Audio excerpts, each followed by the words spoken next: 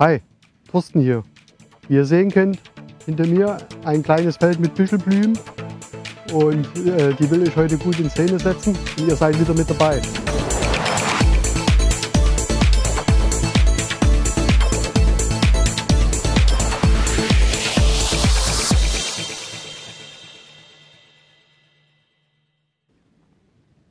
Ja, mit dabei habe ich heute äh, das Sigma 105 mm 2,8 DGDN äh, für den E-Mount und äh, damit wollen wir jetzt mal schauen, was wir da so sehen. Ich habe schon gesehen, äh, hier sind nicht nur Büschelblümchen, hier sind auch noch andere Blumen, äh, die man gut in Szene setzen kann. Die Sonne ist jetzt gerade weg, aber ich habe vorhin schon gesehen, das sind ziemlich viele Bienen und auch Schmetterlinge habe ich schon ein paar gesehen. Und äh, jetzt kommt ihr einfach mal mit und wir schauen, was wir da so machen können. Einige könnten jetzt meinen, äh, dass das ein Nachteil ist, wenn die Sonne nicht scheint, aber ich finde, das, das ist gar kein Nachteil. Natürlich können wir mit Sonnenlicht äh, äh, auch schöne Farben erzeugen. Jetzt ist eh später Nachmittag, da sind die Farben sowieso besser als am Tag. Aber auch, ich sag mal, jetzt im Schatten können wir hier ja, schöne Bilder bekommen. Ich habe mir jetzt hier schon eine Blüte rausgesucht. Äh, Nachteil ist jetzt natürlich, äh, es ist ein bisschen Wind und da wackelt das ganz schön. Und aus dem Grund habe ich jetzt hier mal eingestellt bei mir an der Kamera eine 400 Sekunde Verschlusszeit, Serienbildfunktion und Single Spot Fokus. Ich gucke mal, ob ich vielleicht auch manuell fokussieren kann. Aber jetzt versuche ich das erstmal äh, mit sozusagen Autofokus. Und äh, jetzt mache ich erstmal ein paar Testbilder, weil hier ist ja jetzt noch kein ja, Highlight auf den Blüten. Also ein Highlight würde ich jetzt sagen, äh, dass da vielleicht ja, sich ein Insekt draufsetzt und wir das Insekt sozusagen als Highlight haben. Äh, ich gucke erstmal, wie das hier aussehen könnte. Fokussiere an diese Blüte. Jetzt gehe ich wieder ein Stückchen hoch. Äh, aus dem einfachen Grund, wenn ich jetzt ein Stückchen höher gehe, habe ich hier wieder ja, hinten schön grün. Äh, ich mag das nicht so, wenn das hinten so weiß ist, diese Wolken. Äh, ich mag das eher, dass das dann hinten ein bisschen grüner ist. Ich habe jetzt auch eine genommen, wo jetzt nicht so viel von dieser Blüte hier äh, ringsrum zu sehen ist. Also äh, so, dass wir die schön freistellen können und dass wir nur das Grüne sozusagen sehen im Hintergrund. So, ich habe jetzt mal Blende 4,5 eingestellt. Ich muss erst mal gucken, wie die, wie die Schärfentiefe ist. Hm, ich muss erst mal schauen, äh, wie, wie das Bild wirkt. Ob ich eine geringe Schärfentiefe nehme oder eine etwas weitere Schärfentiefe nehme. Also ob ich die Blende halt äh, noch weiter schließe oder weiter öffne. Das muss ich mir jetzt erstmal anschauen, wie das mir gefällt.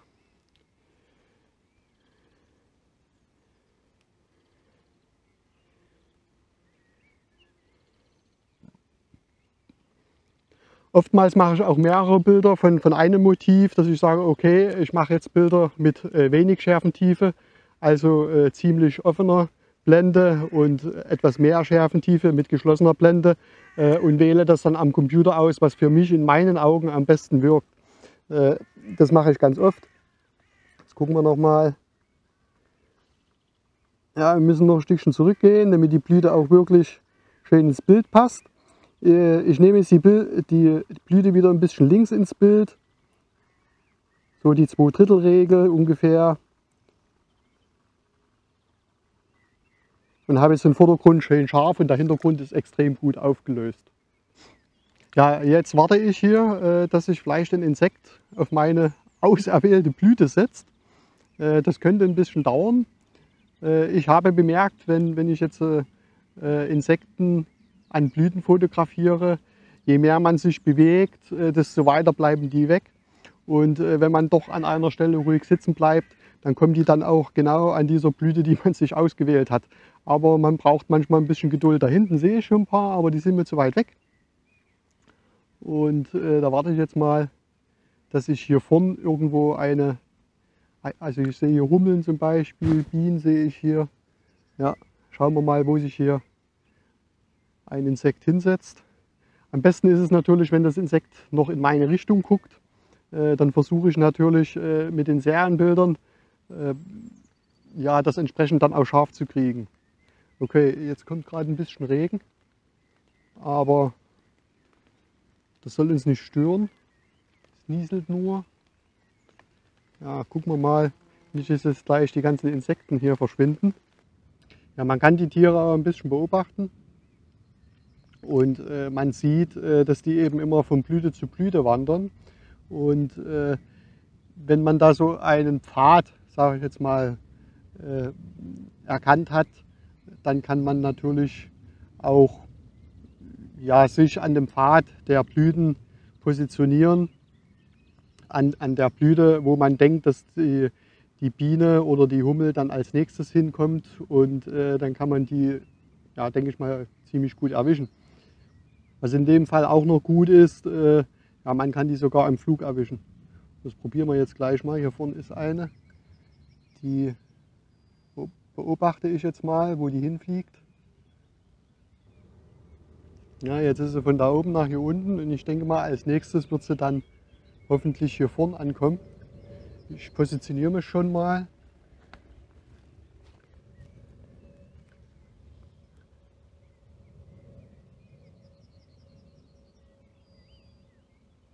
Ja, es fliegt sie leider in die andere Richtung.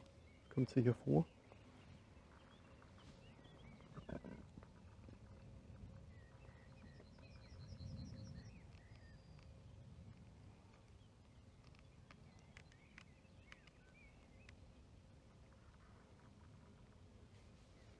Jetzt war sie weg.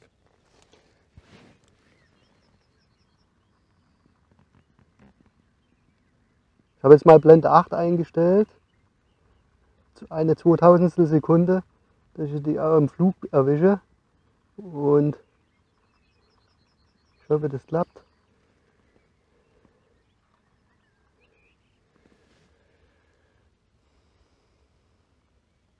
Ich schaue mir die Bilder dann natürlich später am Computer an. Und äh, wenn da jetzt natürlich eine gute Flugszene dabei ist, dann blende ich die euch jetzt schon ein. Aber ich kann jetzt noch nicht sagen, ob die Bilder da tatsächlich geworden sind. Ich kann mal jetzt hier schon drauf schauen.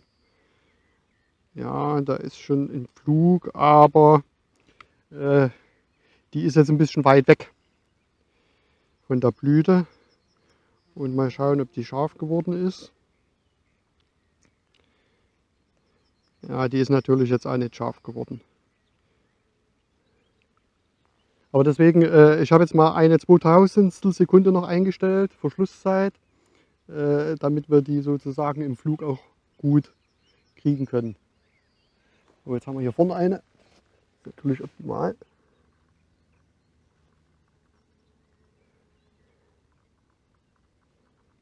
Ja, jetzt haben wir hier ein paar Grasbüscheln davor passen jetzt nicht so gut ins Bild. Jetzt kommt sie weiter vor. Jetzt muss sie nur noch,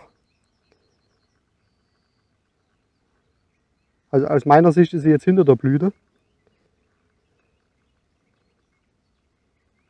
Steckt sie gerade hier vorne in den Kopf rein.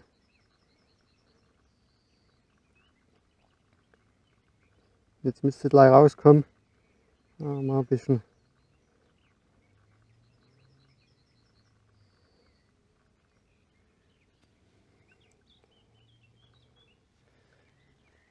das ist natürlich jetzt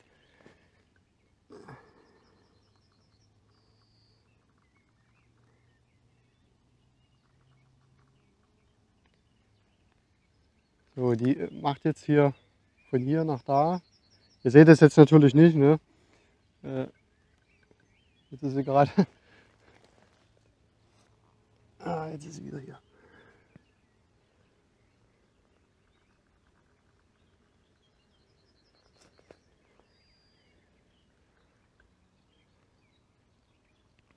Ja, am besten nicht zu sehr bewegen. Also kleinere Bewegungen, Drehbewegungen könnt ihr schon machen, aber nicht zu sehr bewegen, aufstehen oder woanders hingehen, weil äh, dann wartet ihr wieder länger. Ne? Also ich bleibe jetzt hier an dieser Stelle, drehe mich da immer so, mal so ein bisschen und äh, schaue, wo sich dann hier sozusagen die Bienen aufhalten.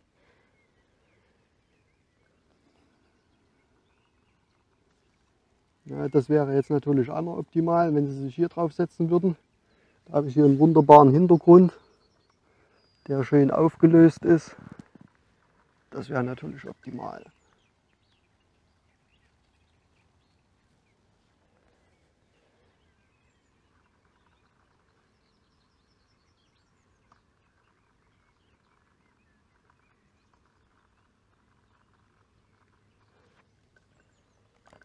Warten wir noch ein bisschen.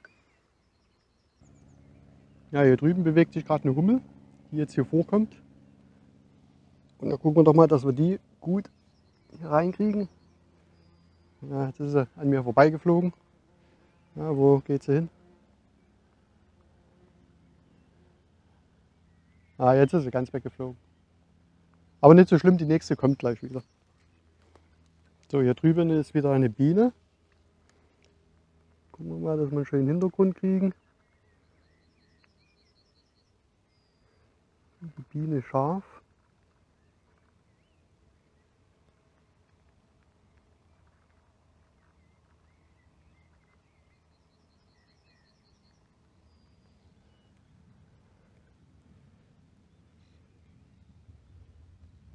Ja, es ist ganz schön viel los hier auf dem Bild. Der Hintergrund nicht ganz so toll. Aber die Biene, die scheint scharf geworden zu sein. Gucken wir mal kurz. Ja, die ist scharf. Also halbwegs scharf. Sehen wir dann am Computer noch besser. Warte mal, jetzt ist hier oben eine.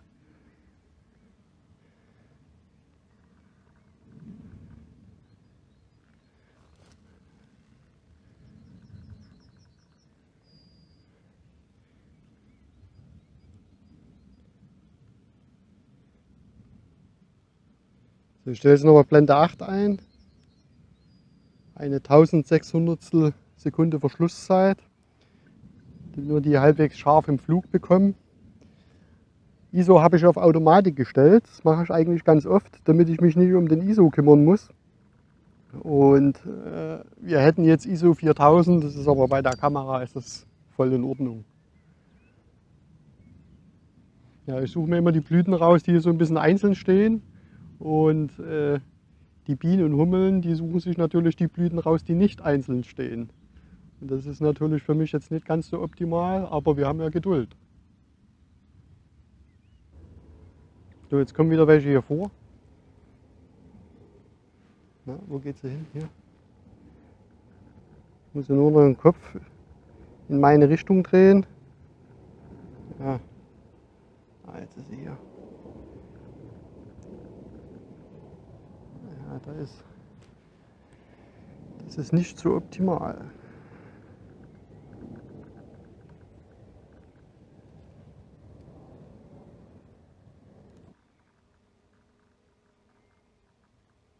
Ja, und dann hat man immer das Gefühl, dass die Bienen immer an der Stelle sind, wo man gerade nicht hinhält. Aber ich versuche dann mal an einer Stelle zu bleiben.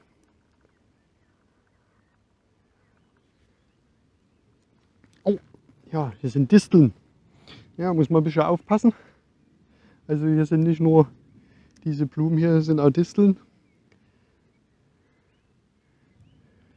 Ja, aufgrund der Serienbildfunktion, die ich jetzt eingestellt habe, äh, bekommen wir natürlich ziemlich viele Bilder. Und die müssen dann natürlich auch noch ausgewertet werden. Äh, ich denke mal, dass da ja mindestens 80 äh, bis 90 Prozent sozusagen mir eine zusagen und dann entsprechend auch gelöscht werden. Aber das ist ja gar nicht schlimm. Wenn denn ein Bild dabei ist, was gut aussieht oder was mir gefällt, äh, dann ist das für mich vollkommen ausreichend. Und wenn keins dabei ist, ist es auch nicht schlimm, weil ich habe einen schönen Tag oder einen schönen Nachmittag.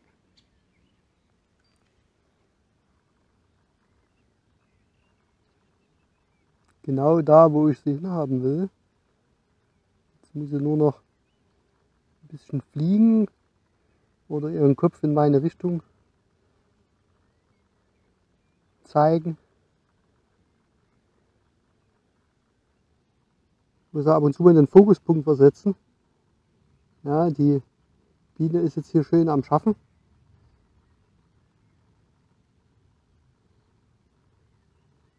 jetzt ist sie ziemlich weit hinten in der Blüte. Sehen wir sie jetzt nicht ganz so toll.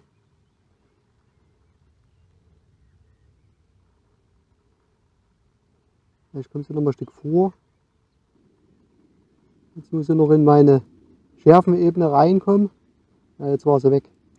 Also ich habe jetzt Blende 5 eingestellt und da ist die äh, Tiefenschärfe natürlich ziemlich, ziemlich gering. Und äh, da ist es natürlich schwierig, dann ja, äh, das Tier, also die Biene, komplett scharf zu kriegen. Äh, das will ich auch gar nicht unbedingt, sondern äh, mir reicht das aus, wenn, ah, jetzt wieder eine hier vorne, jetzt wieder weg. mir reicht das aus, wenn dann sozusagen der Kopf und die Augen entsprechend scharf sind. richtig beurteilen kann ich das dann erst am Computer, aber ich denke mal, dass da ein paar scharfe Bilder dabei sind die mir dann auch, sag mal, vom Bildaufbau noch gut gefallen. Ne? Also ich versuche schon gut äh, oder ich versuche schon, äh, dass der Bildaufbau entsprechend schon mal vorbereitet ist, aber äh, ihr seht ja selber, man springt hier hin und her und äh, da ist manchmal gar nicht so einfach, wie man sich das vorstellt.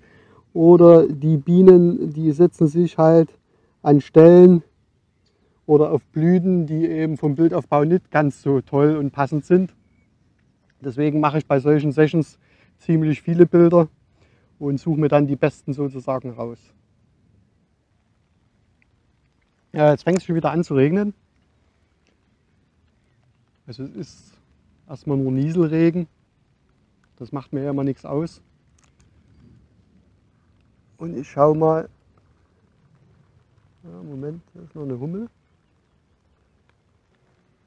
Ja, die ist jetzt gerade hier vorne. Die müssen wir noch ablichten hier.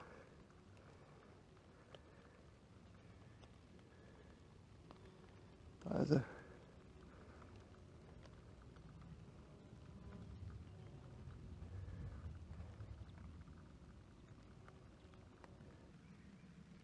Ja, ihr habt jetzt gesehen, äh, wie man mit dem Makroobjektiv 105 mm von Sigma DGDN äh, ja auch gute und schöne, interessante Bilder bekommen kann.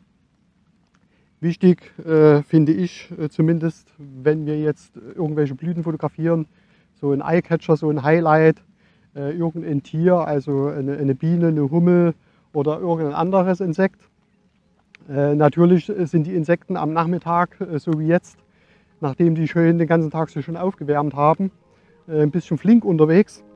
Äh, besser ist es natürlich am frühen Morgen. Äh, Schmetterlinge habe ich zwar hier hinten ein paar gesehen, aber da sind jetzt keine hier vorgekommen und ich sage mal jetzt bei dem Regenwetter